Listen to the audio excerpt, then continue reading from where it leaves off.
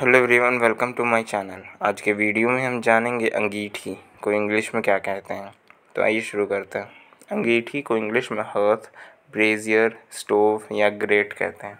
Hearth brazier stove या grate एक example से समझते हैं इसे example at the south end is a family sitting room with a huge hearth for long fires यहाँ हर्ष का मतलब अंगीठी। उदाहरण, दक्षिणी छोर पर एक परिवार के बैठने का कमरा है जिसमें लकड़ी जलाने के लिए एक विशाल अंगीठी है। इसी के साथ आज के वीडियो में इतना ही। Thank you so much for watching my videos